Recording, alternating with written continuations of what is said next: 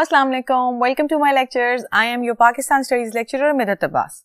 Students, we're doing chapter 7, which is Foreign Relations of Pakistan. Let's continue and see कि पाकिस्तान के बाकी countries के साथ रिलेशंस कैसे हैं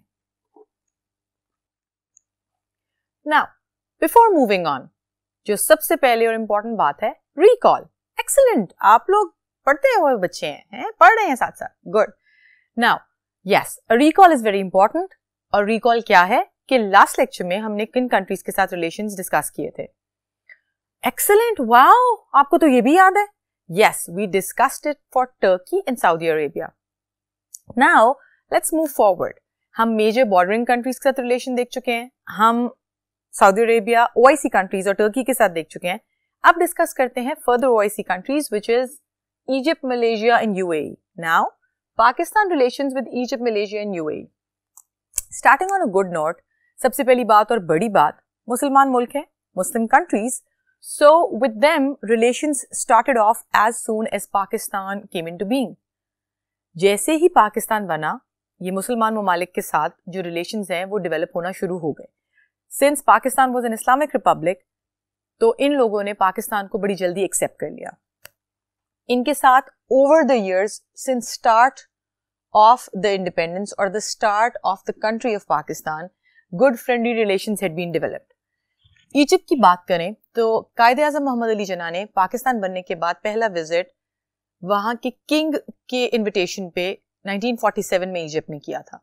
बस तब से there was no looking back तब से पाकिस्तान और इजिप्ट के रिलेशन बहुत अच्छे रहे हैं। Egypt has been huge economical support Egypt ने पाकिस्तान को बहुत माली इमदाद दी है और पाकिस्तान की इकोनॉमी को डेवलप करने में भी हेल्प की।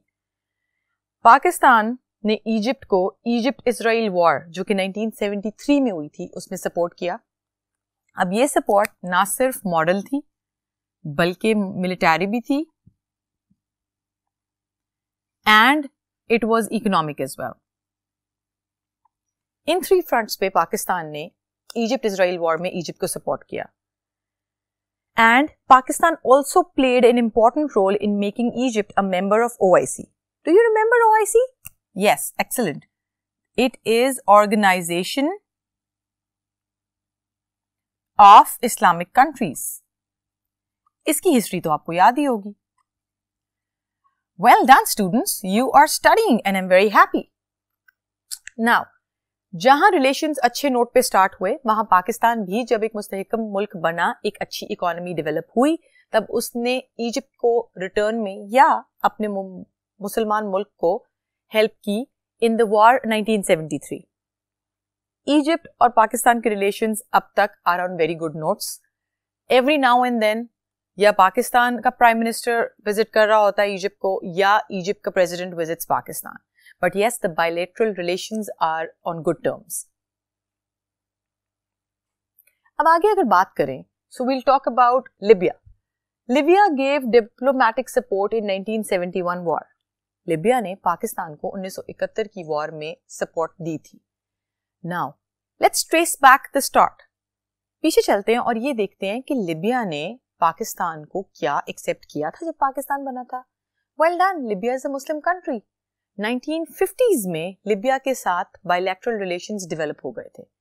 बायलैटरल रिलेशंस का मतलब कि यहाँ के हुक्मरान ने वहाँ विज़िट किया था और वहाँ के हुक्मरान ने यहाँ विज़िट किया था।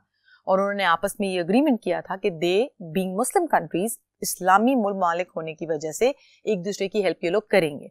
और ऐसा हुआ, होता रहा ओवर द इयर्स और आज भी होता है।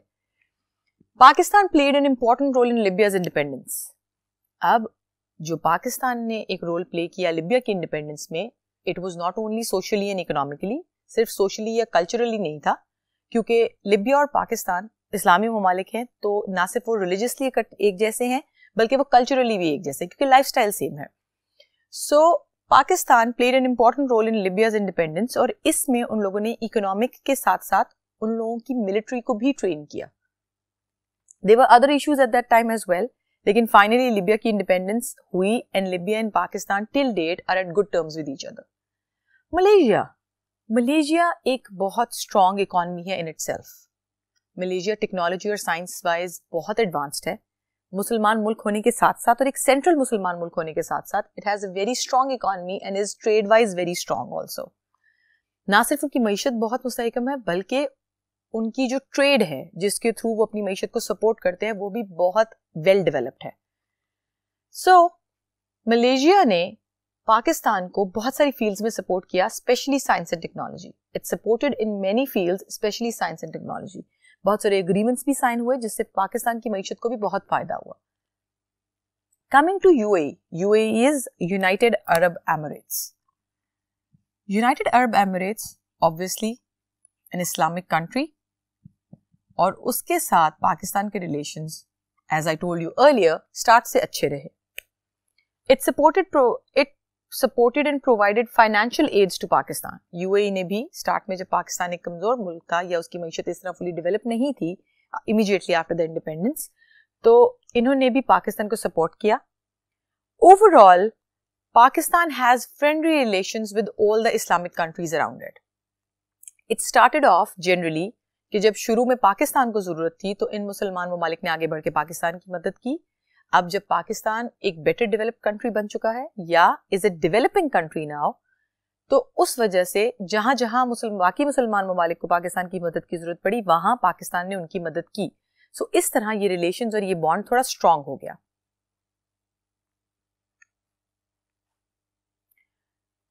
Moving forward in coming to Pakistan relation with Central Asian countries अब मुस्लिम कंट्रीज़ खत्म हुए तो let's talk about Central Asian countries Central Asian countries में these were the countries which became independent after disintegration of Soviet Union in 1991 उन्नीस में, जब Soviet union टूटा तो ये कुछ ऐसे कंट्रीज़ थे, जो कि मैप पे उभर के सामने आए, जिनमें as you can see Azerbaijan Turkmenistan Kazakhstan ये सारे countries came on map after 1991 Pakistan took deep interest in solving their problems Pakistan ने इनकी प्रॉब्लम सॉल्व करने के लिए बहुत ज़्यादा मेहनत भी की और इनकी मदद भी की।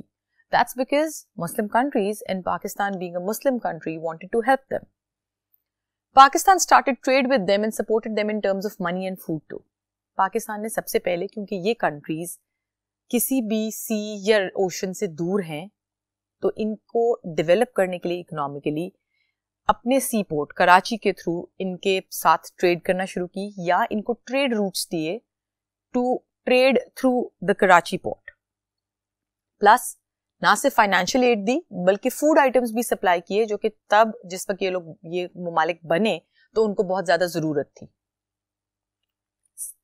हम इनको आगे एक एक स्टेप के करके देखते हैं बट सबसे पहले देखते हैं आजरबाईजान को। But before moving forward let's just look at the map ये मैप आपको इन सारे कंट्रीज़ की लोकेशन बताएगा।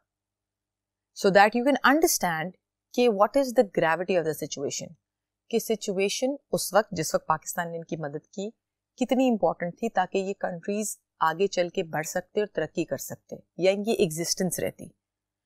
Right now let's just first discuss Azerbaijan Azerbaijan के साथ जो रिलेशंस थे, वो 1992 में एस्टेब्लिश हुए।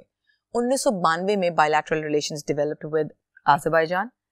Azerbaijan की खासियत जो है, वो ये है कि it is rich in oil and gas oil and gas में रिच होने का मतलब ये है कि इनकी इकोनॉमी खुद अच्छी डेवलप होगी। बस इनको वो इंफ्रास्ट्रक्चर चाहिए था जो कि इस इकोनॉमी को डेवलप करने के लिए ज़रूरी था। Plus Pakistan obviously needs their energy resources and reserves so 2001 में Pakistani Prime Minister signed an agreement with the head of Azerbaijan, the country, to explore oil. Plus, 1994 में इससे पहले एक एग्रीमेंट साइन हुआ था in the field of electronics with Azerbaijan then agreement in the field of defence अब Azerbaijan को since उनकी जो मिलिट्री है या डिफेंस सिस्टम है वो इतना स्ट्रांग नहीं था तो उनके साथ अग्रीमेंट किया गया in the field of defence later on in later years इस बात पे अग्रीमेंट्स और पैक्ट साइन हुए कि एजुकेशनल ट्रेड और कल्चरल ये bilateral relation in the future develop होते रहेंगे और ये दोनों कंट्रीज़ इस बात को प्रमोट करते रहेंगे। इसकी इंडिकेशन इस बात से साफ़ नज़र आती है क्योंकि पाकिस्तान के बहुत सारे स्टूडेंट्स आजरबाईजान के एजुकेशनल इंस्टीट्यूट में पढ़ते हैं और आजरबाईजान के बहुत सारे स्टूडेंट्स पाकिस्तानी इंस्टीट्यूट्स में पढ़ते हैं। So yes, there are efforts which were put in the past and are now being put into the fact कि पाकिस्तान और अजरबैजान के जो रिलेशन हैं वो अच्छे डेवलप हों। अजरबैजान से आगे चलते हैं तो we'll talk about Uzbekistan Uzbekistan also the importance of the country being oil and the gas so since it's rich in oil and gas तो इनके साथ अग्रीमेंट इनिशियली ही साइन हो गया पाकिस्तान का फॉर दीज टू रिसोर्सेज ये एक और वजह से भी बहुत फ़ेमस है। या इंपॉर्टेंट है रिलीजियसली भी मुसलमानों के लिए, इमाम बुखारी रजा का टूम है वहाँ पे। Nawaz Sharif the Pakistani prime minister at that time he visited Uzbekistan and donated fifty thousand dollar for the repair of this tomb Pakistan ने डोनेशन दी इनको for the repair of the tomb over the years Uzbekistan के साथ relations अच्छे और friendly रहे हैं। And both the countries look forward to good relation in the future as well और फ्यूचर में भी, आने वाले कल में भी, ये दोनों कंट्रीज़ यही चाहते हैं कि इनके रिलेशन अच्छे टर्म्स पर रहें। ताजिकिस्तान ताजिकिस्तान का जो इम्पोर्टेंस है that comes from the fact कि ताजिकिस्तान में इलेक्ट्रिसिटी बहुत ज़्यादा है अबंडेंट इलेक्ट्रिसिटी ये इलेक्ट्रिसिटी ज़्यादा प्रोड्यूस होना या उनके पास इसके रिजर्व्स होना it was important so Pakistan invested with this country in a project where electricity will be provided to Pakistan through hydel power. Hydel power के थ्रू पाकिस्तान को इलेक्ट्रिसिटी प्रोवाइड करेगा ताजिकिस्तान 2015 में 2015 में कुछ एफर्ट्स डाले गए ताकि इस कंट्री के साथ जो ट्रेड के रिलेशन हैं वो इम्प्रूव हो जाएँ, क्योंकि टैक्स बहुत ज़्यादा था इस ट्रेड पे so efforts to bring down the tax on trade वो पुट इन 2015 सो so, 2015 में इस बात पे बातचीत की गई और पाकिस्तान इस बात का स्ट्रेस भी लिया कि रिलेशन इंप्रूव करने के लिए और दोनों मुल्कों की इकोनॉमी और मीशत के लिए ये इंपॉर्टेंट बात है कि ये अपनी ट्रेड पे जो टैक्स है उसको कम करें। As of now the relation are good and on friendly terms अगली बात करते हैं तुर्कमेनिस्तान की। तुर्कमेनिस्तान के साथ पाकिस्तान ने बहुत सारे पैक्ट साइन किए इन डिफरेंट फील्ड्स क्योंकि तुर्कमेनिस्तान को सपोर्ट चाहिए थी सो ये अग्रीमेंट साइन हुए।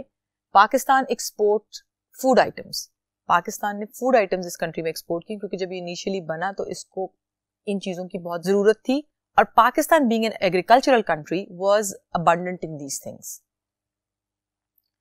then in 2015 a stone laying ceremony was inaugurated for Tapi gas line. Tapi gas pipeline is basically a project between Turkmenistan, Afghanistan, Pakistan and India इन चार मुल्कों के दरमियान ये प्रोजेक्ट जो था वो साइन हुआ था which was TAPI gas pipeline project लेकिन ये प्रोजेक्ट आज तक बंद है इस पे कोई काम नहीं हो सका Let's talk about Kazakhstan. Kazakhstan geographically area wise सबसे बड़ा कंट्री है इन कंट्रीज़ में। इन 1990 इसके साथ ट्रेड अग्रीमेंट साइन किए गए because of the efforts of prime minister of Pakistan then Pakistan also signed pacts with them कि पाकिस्तान वहाँ पे सीमेंट प्लांट और डिफरेंट इंडस्ट्रीज़ सेटअप करेगा।